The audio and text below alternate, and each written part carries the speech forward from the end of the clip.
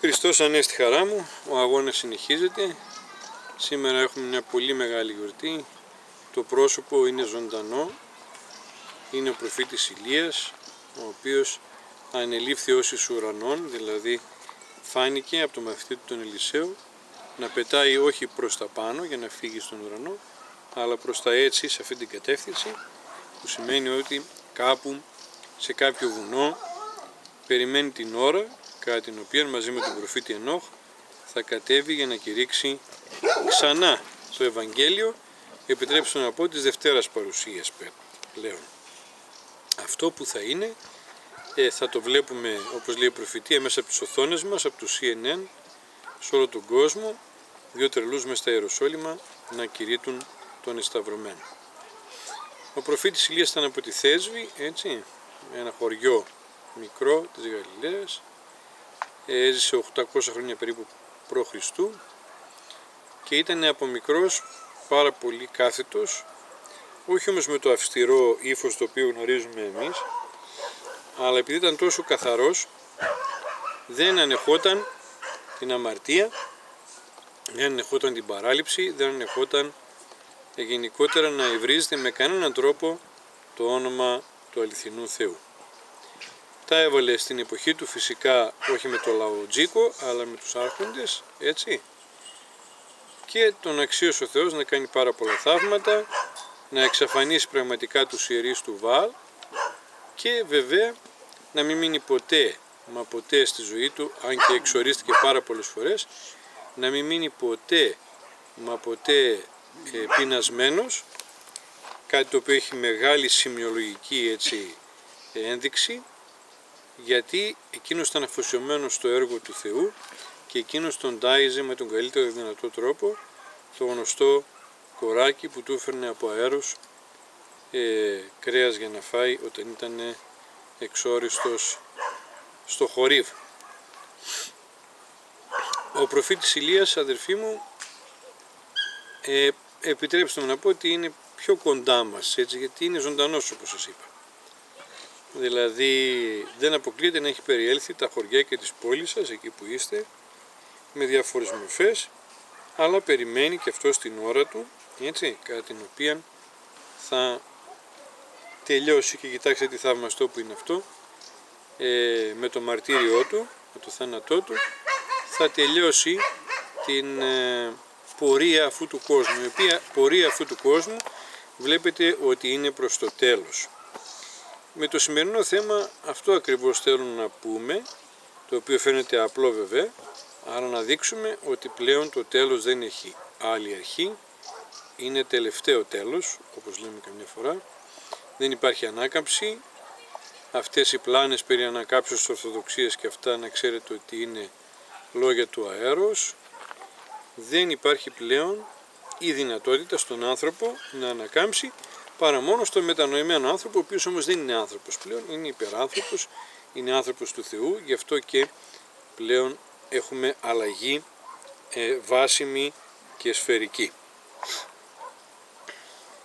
Θα πούμε λοιπόν για ένα θέμα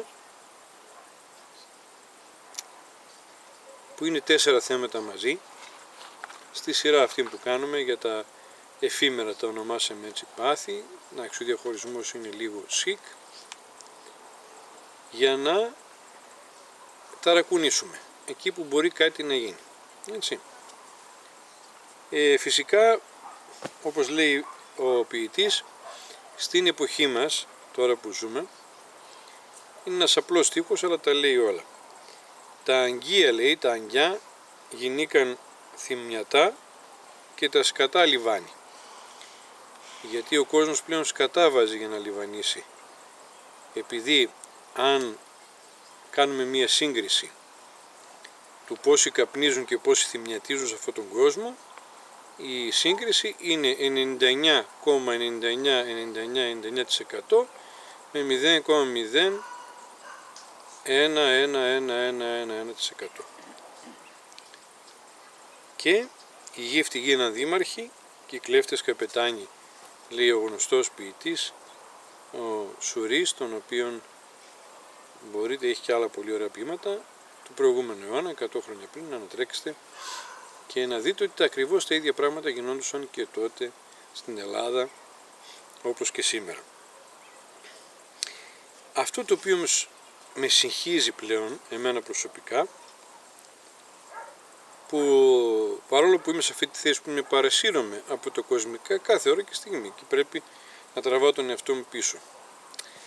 Είναι διαφορετικό αυτό αδερφοί μου το να παρασύρεσαι από τα κοσμικά και το να εξευτελίζεσαι από τα κοσμικά. Εδώ είναι η διαφορά. Έτσι. Εδώ είναι η φοβερή διαφορά. Να σας φέρω ένα παράδειγμα το οποίο ενσωματώνεται μέσα στη σημερινή ομιλία. Υπάρχει ένα, μια ολόκληρη επιστήμη πλέον ε, που δεν λέγεται καλοπισμός, καλοπισμός λεγόταν κάποτε παλιά, ε, τώρα λέγεται ε, αισθητική και σπουδάζεται και στα πανεπιστήμια πλέον, έτσι. Δηλαδή πώς ο άνθρωπος όλο και περισσότερο έτη και έτη να πασαλίβεται και να σοβατίζεται μέχρι εκεί που δεν υπάρχει αύριο. Δηλαδή είναι τόσο μεγάλη η μανία του καλοπισμού ε, σύμφωνα με τη μόδα πάντοτε και τόσο τραγική η κατάσταση στην οποία φτάνουν οι άνθρωποι προκειμένου να καλύψουν και ένα παραμικρό σπυράκι το οποίο τους έδωσε ο Θεός, έτσι. Γιατί ξέρετε αύριο μεθαύριο αν πεθάνει κανείς βαμμένος δεν θα αναγνωριστεί έτσι, να, μην, να είμαστε ρεαλιστές. Μπορεί και άντρες, τώρα πλέον βάφονται και άντρες, δεν έχει αλλάξει, δεν υπάρχει διαφορά. Αν τη μορφή που σου έδωσε ο Θεός εσύ την αλλάξεις, στη δεύτερη παρουσία δεν ξέρω θα αναγνωριστείς, γιατί σε ξέρει έτσι. Βέβαια είναι ένα τέχνασμα αυτό που σας κάνω τώρα, λεκτικό, αλλά για σκεφτείτε πάρα πολύ καλά και υπάρχει σχετικό ανέκδοτο, πέθανε η γριά, βαμμένη με κόκκινα μαλλιά, κόκκινα νύχια, κόκκινα το ένα, κόκκινα το άλλο και όταν πήγε πάνω, ε, της είπανε, αυτή πήγαινε στην εκκλησία και έκανε σταυρούς. Δεν με θυμάσαι Άγιε Τάδε που σε έκανα εγώ κτλ. Ε, δεν σε θυμάμαι τι λέει. Γιατί είχε βαφτεί τόσο πολύ που ήταν διαφορετική η μορφή της. Και πώς φτάνει ο άνθρωπος να εξευτελίζεται πλέον τα κοσμικά, έτσι, Βάζω μέσα και τα τατουάζ, βάζω και όλα αυτά και τα piercing και βλέπεις έναν άνθρωπο κάποια στιγμή να έχει πάνω του μπογιές μίας χρήσεως, μπογιές τελικής χρήσεως και να έχει και σίδερα έτσι ώστε να ζυγίζει τουλάχιστον 2 κιλά παραπάνω από όλα αυτά τα πράγματα που βάζει πάνω του. Βέβαια για τη μόδα έχουμε ξαναμιλήσει. Βέβαια για, την, για τον καλοπισμό και αν θέλετε ο καλοπισμός είναι ωραία λέξη για τη μανία αυτήν να πούμε όχι καλοπισμός, πασαλι, πασαλισμός να πούμε έχουμε μιλήσει εγώ θέλω να το ενσωματώσω όμως αυτό σε έναν τρόπο ζωής που παρουσιάζεται πλέον ο οποίος λέγεται είναι τρόπος ζωής, ε, γιατί εκεί είναι το κέντρο, από εκεί ξεκινάνε όλα τα άλλα. Αυτό ε, ονοματίζεται ως τρόπος ζωής. Δηλαδή, όταν είσαι άνθρωπος της εκκλησίας το πούμε έτσι, να το πούμε σωστά όπως είναι, η ζωή σου διαμορφώνεται γύρω από την εκκλησία, βάζεις στο κέντρο την εκκλησία, θα πας πρώτα στη λειτουργία, θα πας να κοινωνήσεις, θα πας να κάνεις πρόσφορα, θα πας να κάνεις κόλληπα, θα πας να κάνεις να διαβάσεις, να πας στο κηρύγμα, θα κάνεις και μετά θα κάνεις όλα τα άλλα. Ή όταν έχεις άλλα θα τα αναβάλεις για να κάνεις εκείνα.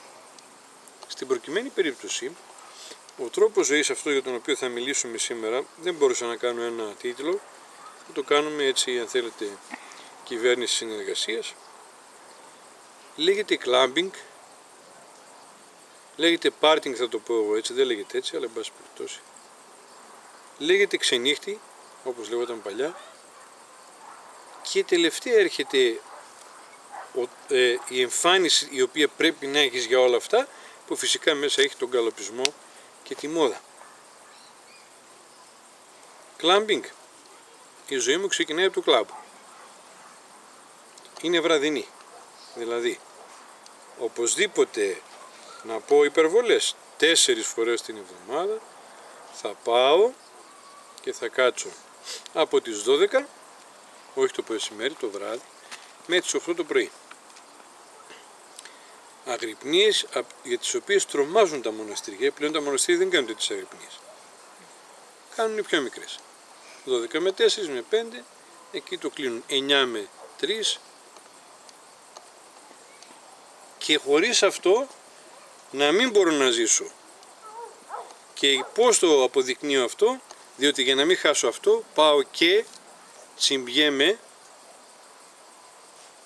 προκειμένου να μπορώ να μπαίνω ακόμα και τις εποχές, τις περιόδους που υπάρχει περιορισμός, εντάξει, να είχαμε να λέγαμε, να γελάμε, έτσι, να μπορώ και τότε να εισέρχομαι ανεμποδίαστα εις το κλαμπ, εις το πάρτι, τα οποία, προσέξτε, ο της ε, ε, αντιχριστίας, επιτρέψτε να πω πάλι φράσεις τέτοιες. Επειδή ο Χριστός έβαλε να γίνεται προσευχή το βράδυ και γίνεται στα μοναστήρια προσευχή το βράδυ, έτσι, σύμφωνα με τα τυπικά και του Αγίου Όρους ξεκινάνε οι προσευχές ακόμα και από τις 1 η ώρα για βράδυ. Άλλα μοναστήρια πάνε 1 με 6, άλλα πάνε 2 με 7, άλλα πάνε 3 με 8, άλλα πάνε 4 με 9. Μετά τις 4 δεν έχει. Είναι το πιο νωρίς, 4 το βράδυ. Εκεί απάνω λοιπόν λέει ο διάβολος τι να κάνω, τι να κάνω, θα κάνω τους ανθρώπους, προσέξτε, ενώ στην εκκλησία οι μοναχοί θα ψάλουν, θα κουνάνε τους πολυλαίους, θα πηγαίνουν, θα έρχονται, θα τραγουδάνε, θα υμνούν τον Θεό, θα κάνω κι εγώ το ακριβώς αντίθετο. Τι θα κάνω, επιτρέψτε μου να πω, πέντε ανοήτους, οι οποίοι εκείνη την ώρα θα χτυπιούνται μέχρι αηδίας, θα χορεύουν ό,τι να είναι και θα κάνουν ό,τι να είναι, αλλά γι' αυτά έχω ήδη μιλήσει στις προηγούμενες ομιλίες, για τα νοικοτικά, τα σιγάρα και τα ποτά και ούτω καθεξής και θα πηγαίνουν το πρωί, όπως λέει ο ποιητής, στο σπίτι με καταματωμένα τα φτερά. Πλέον ούτε αυτό υπάρχει αίσθηση, ξέρετε, γιατί πάει άλλος, σαβουρώνεται πάνω στο κρεβάτι του, ξυπνάει δύο η ώρα και δεν σημαίνει τίποτα. Όλα καλά. Το ότι έγινε η μέρα νύχτα δεν μας πειράζει. Όχι. Το ότι έγινε η νύχτα μέρα πάλι δεν μας πειράζει. Μα δεν γίνεται αυτό όμως και επιστημονικά αν το δούμε πειράζει όταν δεν κοιμάσαι το βράδυ και κοιμάσαι την ημέρα εκτός εξαίρεσης του μεσημεριανού ύπνου ο οποίος είναι ωφέλιμος και ευεργετικός. Ας το ονομάσουμε λοιπόν εμείς clamping, εκ του club, έτσι, το οποίο έχει πολλές μεγάλες και άλλες σημασίες τι σημαίνει club. Εκεί όμως για να πας υπάρχει ένα dress code που το λένε τώρα. Ένας κώδικος δυσήματος, ο οποίος στην εκκλησία μπορεί να παραλείπεται, δεν θα σε διώξει κανείς, αλλά εκεί ο παγορεύεται. Για προσέξουμε εδώ λοιπόν. Όχι. Θα πας στο κλαμπ με μακριά φούστα. Τελείωσε. Για να μην λέω λεπτομέρειες δεν μου αρέσουν αυτά θα πας έτσι, θα πας αλλιώς, θα πας χωρίς πρίση, θα πας χωρίς με μακρύ μαλλί, θα πά... απαγορεύονται αυτά, αυστηρά. Μέχρι το σημείο που ξέρετε πολύ καλά, για να εισέλθεις σε αυτούς τους χώρους υπάρχει και η πόρτα, που η πόρτα δεν είναι πόρτα, είναι άνθρωποι οι οποίοι κάνουν την πόρτα. Και σε κοιτάνε. Είσαι καλά βαμμένη. Είσαι καλά χτενισμένος. Είσαι καλά αντιμένος. Και έτσι θα μπουν. Και δυστυχώς εγώ δεν τα έχω ζήσει αυτά με αξίωση ο Θεός και με φύλαξη. Αλλά σας βλέπω πως και τι ωραία θυμάστε τις εμπειρίες σας αυτές. Που η ζωή, το κέντρο της, ζωή, της ζωής ήταν να πας στο κλαμπ. Κλαμπ το λέμε εμείς. Τώρα λέγονται με άλλες ονομασίες. Αυτές είναι ξεπεραμένες. Κέντρο της όλης εβδομάδας ήταν να πας εκεί. Την Παρασκευή το βράδυ και το Σάββατο το βράδυ. Πω πω. Τι δεσπότης περίεργος είναι αυτός. Όλα τα βρίσκει πλά, πια περίεργα, σατανικά, κινδυνολογεί, παντού βρίσκει το διάβολο και τελικά είναι παντού ο διάβολος. Είναι, διότι είναι πνεύμα και μπορεί να πάει παντού. Γιατί να γίνεται το κλάμπινγκ Σάββατο βράδυ, άλλοι επειδή δεν δουλεύει ο κόσμος την Κυριακή. Δεν είναι δικαιολογία αυτό πλέον, ξέρετε έτσι. Δουλεύει ο κόσμος και την Κυριακή. Αλλά είναι για να μην πάει κανείς στην εκκλησία το πρωί της Κυριακής. Έτσι διότι αν το 1% καταφέρει να πάει να ξενυχτήσει το βράδυ και το πρωί να πάει στην εκκλησία, είναι το 1%. Τι μας τρομάζει πιο πολύ από αυτά, το ότι πήγε στο βράδυ στο κλαμπ, όχι. Το ότι πήγε σε ένα πάρτι, όχι. Το ότι ξενύχτησες, Όχι. Το ότι ντύθηκες με την τελευταία λέξη της μόδας, γιατί έχουμε και αυτό. Η μόδα κάθε τέσσερις μήνες αλλάζει. Αν είσαι με την περσινή, κάηκες. Αν είσαι με τις προηγούμενες εποχής, τελείωσες. Δεν μπορείς να επιπλέψεις εκεί μέσα σε αυτά τα μέρη. Μας πειράζει αυτό; Στο κάτω κάτω και εγώ μπορώ σε περιπτώσεις που είναι ειδικές να σου πω πάνε ρε παιδί μου γλέντισε μια μέρα να ξεσκάσεις γιατί θα πάθεις κάτι. Όχι αδερφοί δεν είναι αυτό. Το χειρότερο από όλα σε αυτό το πάθος που είναι φοβερό είναι ότι είναι φοβερό. Είναι το δημοφιλέστερο. Φοβερό, ε! Δεν υπάρχει νεολαίος εκτός ελαχίστων εξαιρέσεων που να μην το κάνει αυτό το πράγμα. Και πλέον και γερολαίος, όχι μόνο νεολαίος. Είναι φοβερό. Δεν υπάρχει άνθρωπος που να ξέρει τις ονομασίες των μπαρ και των κλαμπ και των μαγαζιών και ούτω καθεξής σε μία πόλη. Δεν υπάρχει. Είναι πάρα πολύ σπάνιο. Τι σημαίνει αυτό, ότι το κέντρο της ζωής είναι εκεί. Μπορεί να ξεφύγει ο άνθρωπος, ξέρετε λέτε μερικοί, ε, όταν μεγαλώνεις κάνεις παιδιά, εκείνο το άλλο, ξεφύγεις από τον τρόπο ζωής αυτό. Ναι, αλλά δεν μπορεί να ξεφύγεις από το όλον. Θα ξεφύγεις από το κλάμπινγκ, ναι. Θα σου μείνει το πάρτι. Θα ξεφύγεις από το πάρτι, θα σου μείνει ο καλοπισμός. Θα ξεφύγεις από τον καλοπισμό, θα σου μείνει η μόδα.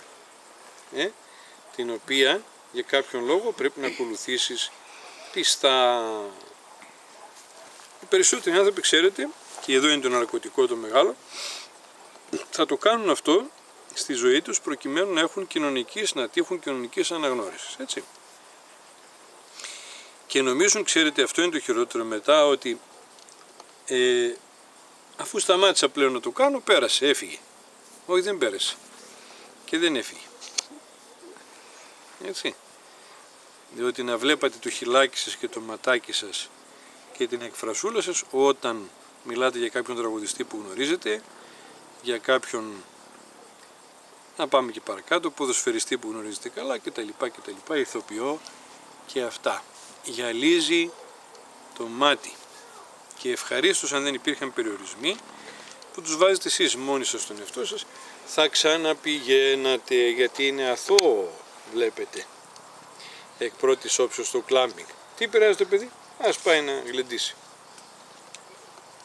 Και πόσα παιδιά στην Αλεξανδρούπολη, ακούσατε, Οπότε, τώρα, στη Σαμοθράκη ακούσατε, ναι, πόσα παιδιά προμηθεύτηκαν από εκείνο το κουτάκι που βρέθηκε το μεγάλο, τόσο μεγάλο ήταν.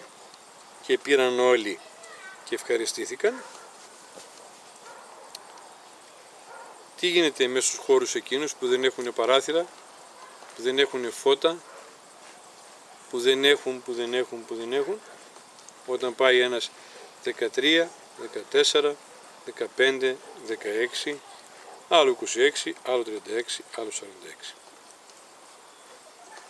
Η αδερφοί μου, βλέπετε ότι είναι κίνημα, ότι είναι τρόπο ζωής να κοιμάσαι την ημέρα και να ζεις το βράδυ.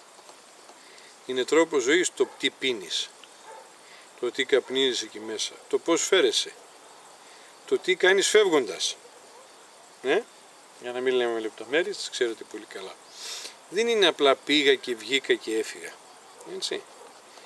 Γλίτωσαν βέβαια άνθρωποι και το ξέρετε πολύ καλά και έτσι είναι η εμπειρία της Εκκλησίας ότι οι άνθρωποι οι οποίοι μπορεί να σύχναζαν όλο το βράδυ, όλη τη μέρα, όλα τα χρόνια τους μέσα στο κλαμπ τώρα να είναι, ξέρω εγώ, ιερείς, να είναι ε, μοναχοί, να είναι άγιοι. Δεν έχει σημασία αυτό. Εμείς μιλάμε όμως για το υπόλοιπο το οποίο υπόλοιπο δεν έχει πλέον αυτή τη στιγμή την δύναμη να πει όχι. Ε; Και χαίρεται και η οικονομία κάθε κράτους που τα οικονομάει χοντρά από αυτές τις καταστάσεις. Για πέστε μου λοιπόν εσείς της υπόθεσης το υγιές. Πρώτον, είναι βράδυ και σκοτάδι και φώτα και δυνατή μουσική. Δεύτερον, δεν κρατάει κανείς στο χέρι του Σταυρό ή Ευαγγέλιο, κρατάει ποτό, το ποτό είναι αλκοολούχο και οτιδήποτε άλλο, κρατάει τσιγάρο και κρατάει δυστυχώς και άλλα πράγματα. Η ώρα είναι περίεργη. Οι άνθρωποι, εσύ μπορεί να είσαι το καλύτερο παιδί της γειτονιάς σου. Οι άνθρωποι όμως που είναι εκεί δεν είναι τα καλύτερα παιδιά της γειτονιάς τους. Και ξέρετε ότι χρυσά, καλά, μπορεί να έχουν ψυχικά τραύματα, αλλά ποιος από εσάς βάζει το παιδί του σε μια παρέα που είναι κακά παιδιά, που είναι κακοπή. Ε, ποιος το κάνει. Συνήθως γίνεται το άλλο, το παίρνεις το παιδί σου από εκεί. Και φυσικά δεν είναι μόνο αυτό, αλλά είναι η γενικότερη περιόδος ατμόσφαιρα, στην οποία κάθε τόσο, δεν θα πω υπερβολή, κάθε ένα λεπτό υμνολογείται ο σατανάς. Διότι σίγουρα τα τραγούδια, από ό,τι αντιλαμβάνεστε, ούτε για το Θεό είναι γραμμένα, πολλό δε μάλλον είναι για εκείνον γραμμένα. Η πορνεία, η πάση φύσους αμαρτία, εκεί με αυτόν τον τρόπο υμνολογείται, γιατί κουνιέσαι, γιατί κάνεις, γιατί συμμετέχεις, γιατί, γιατί, γιατί, γιατί, γιατί. Και ο αγιότερος άνθρωπος ακόμα αν πάει εκεί, θα φύγει λερωμένος. Ε; Από την ηχορύπανση, από την οσμή, από αυτά που άκουσε και είδε, γιατί εκεί πέρα που σας είπα δεν κουνιούνται οι άνθρωποι ντυμένοι με στρατιωτική στολή, αλλά κουνιούνται άντιτοι γενικότερα. Όλη αυτή η ατμόσφαιρα λοιπόν που σας περιέγραψα, όταν ειδικότερα όταν βλέπετε ανθρώπους οι οποίοι έχουν ξεπεράσει τις ηλικίες πλέον και έχουν και οικογένεια να τηρούν πιστά, τότε αντιλαμβάνεστε ότι είναι τρόπος ζωής που κατέλαβε πραγματικά αυτόν ο οποίος το έκανε μία, το έκανε δύο, το έκανε τρεις και δεν μπόρεσε να γλιτώσει. Και να η έξοδη και να τα πριν και τώρα υπάρχει η έκφραση τα after, δηλαδή πήγαμε που πήγαμε να πιούμε το ποτό μας, μετά θα πάμε και κάπου αλλού και κάπου αλλού για να συμπληρωθεί το ωράριο. Βλέπετε είναι 8 ώρο, ε, το ξέρετε αυτό. Ο καλός ο, ο μάγκας 8 ώρες πρέπει να συμπληρώσει. Από τις 12 μέχρι τις 8 ας πούμε. Δυστυχώς αδερφοί μου όσον αφορά την θεραπεία σίγουρα είπαμε πριν αλλάζουν οι συνήθειες, φεύγει λιγάκι αυτό ναι. όσο μεγαλώνει ο άνθρωπος είτε γιατί έκανε οικογένεια κτλ. Οι άλλοι οι οποίοι μέσα από αυτήν τη ζωή γνώρισαν τα ναρκωτικά δύσκολο. Όσοι γνώρισαν τα ποτά και τα τσιγάρα και τα ξενύχτια μετά έχουν προβλήματα στις οικογένειές τους είτε φτιάξαν δική τους είτε αυτή που τους συγγέννησε. Οι καταστάσεις είναι τρελές γιατί μετά ένας άνθρωπος όταν βγει την άλλη μέρα στην δουλειά ε; δεν μπορεί να λειτουργήσει κανονικά γιατί όλο εκείνο το χάος που έζησε το βράδυ θα το ξεπληρώσει την ημέρα και μετά γίνονται ατυχήματα, ναι βεβαίως. Και εγκλήματα, ναι βεβαίως. Και τώρα θα το πω. Γιατί έχει τελικά άμα δεν θες να λυπηθείς και θες να γελάσεις, έχει πάρα πολύ πλάκα αυτός ο κόσμος. Αναρωτιούνται και εδώ στην επαρχία και κάτω στο κέντρο, γιατί έχουμε τελευταία πολλούς σκοτωμούς. Σκότωσε τη γυναίκα του, σκότωσε τη γυναίκα του, σκότωσε τη γυναίκα του, σκότωσε το παιδί του, σκότωσε την όντα της. Καλά είστε τόσο ανόητοι. Το ανόητος είναι έκφραση ευγενική. Είστε τόσο ηλίθιοι, επίσης ευγενική έκφραση. Είστε τόσο άχρηστοι. Είστε τόσο κτίνοι. Όταν κάθε μέρα εσύ, κάθε βράδυ μάλλον, στέκεις στην οθόνη και βλέπεις τα γνωστά σύριαλ, να μην τα ονοματίσω, τα οποία με το παραμικρό ένα σκοτώνει τον άλλον. Τι περιμένεις μετά, να μην σκοτώσει ο άντρας τη γυναίκα του; Καλά λέει επηρεάστηκε από μια ταινία; Μάλιστα κύριε.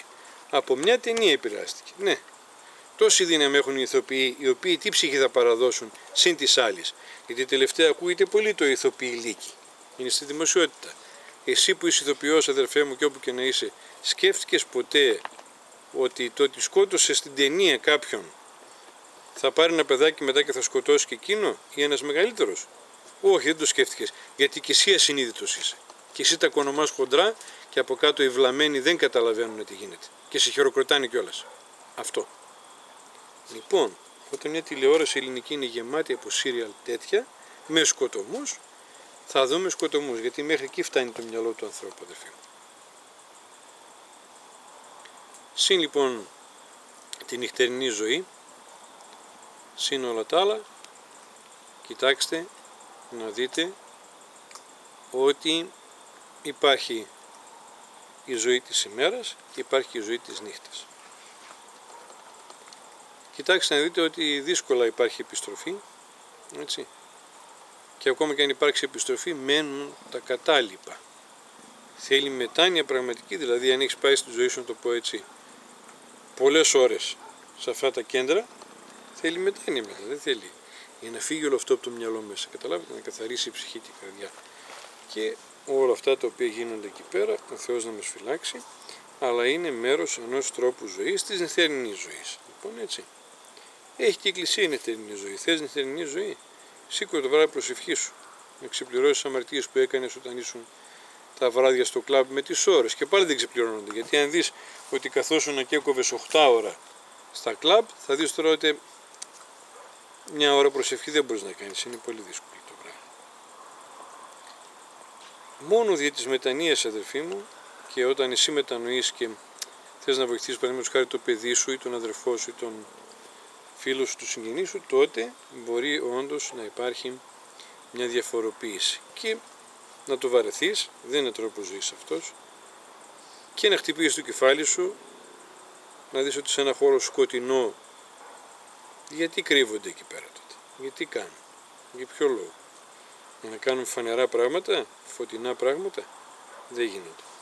Και γενικότερα λοιπόν, αδερφοί μου, για να μην λέμε πολλά, σε αυτή τη νυχτερινή ζωή λοιπόν, να την ονομάσουμε έτσι, ε, υπάρχει μεγάλος βαθμός, επιτρέψτε να το πω έτσι, παθολογίας, γιατί ο άνθρωπος μετά δεν μπορεί εύκολα να το ξεχάσει όλο αυτό, να φύγει από πάνω του και βλέπουμε λοιπόν μετά, τουλάχιστον εγώ έχω δει πάρα πολλούς ανθρώπους με οικογένειες, με παιδιά σεβαστό αυτό, αλλά το κλαμπ κλαμπ, το ναρκωτικό ναρκωτικό, και ούτω καθεξής.